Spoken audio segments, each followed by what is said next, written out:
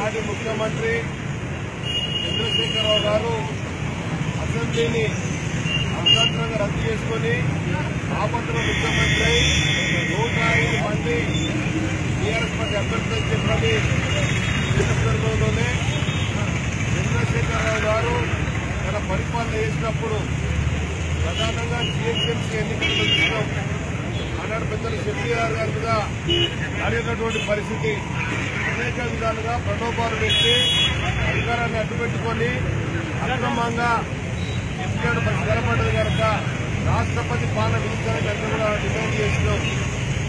ఆ యొక్క విజ్ఞాపనలు పరిస్థితులను ఈ మూడు వచ్చినటువంటి వివిధ సందర్భాలలో అధికార ప్రభుత్వం అడ్డగుల ప్రమాణం తెరలేపింది. ఇష్టానుసారంగా అధికార దుర్వినియోగం చేసింది.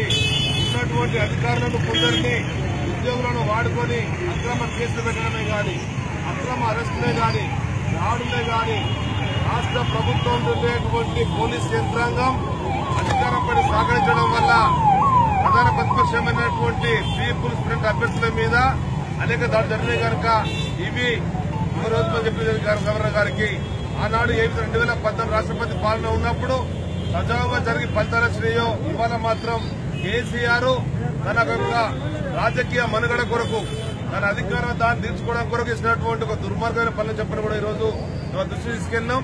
వీటన్నిటి కూడా వారు పరిశీలించారు. రేపు జరిగి జరుగుతున్నటువంటి కౌంటింగ్లో మాకు పూర్తిగా నమ్మకం ఉంది. పీపుల్స్ ఫ్రంట్ను ప్రజలు ఆదరించారు. ప్రజా కోణంలో మేమందరం కూడా ముందుకెళ్ళినాం. ప్రజల ఆలోచనకు అనుగుణంగానే మా కార్యక్రమాలు జరిగినాయి. నలువైపులా మా కార్యక్రమాలన్నీ కూడా ఎన్నికలకు సంబంధించినటువంటి అన్ని విషయాలు స్పష్టంగా సమాజానికి చెప్పినాం.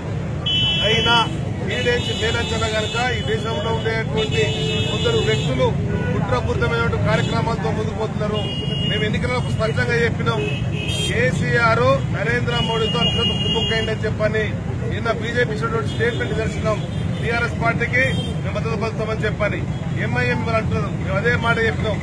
ఒకవైపునేమో ఎంఐఎం ఫ్రెండ్లీ పార్టీ లోపాయకరంగానేమో బీజేపీ తరఫు చెప్పని తెలంగాణ సమాజానికి పూర్తిగా అసలు అర్థం చెప్పి పాటిస్తున్నాం thank you Subscribe us and press the bell icon for more interesting updates.